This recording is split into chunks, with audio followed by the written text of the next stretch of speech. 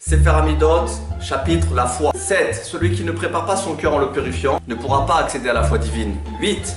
Celui qui a perdu quelques objets aura de toute évidence failli à sa foi. 9.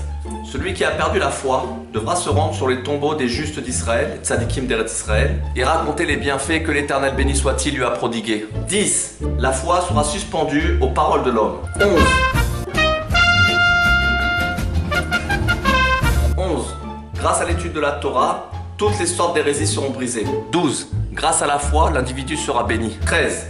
Par excès de nourriture, on chutera de la foi divine. 14.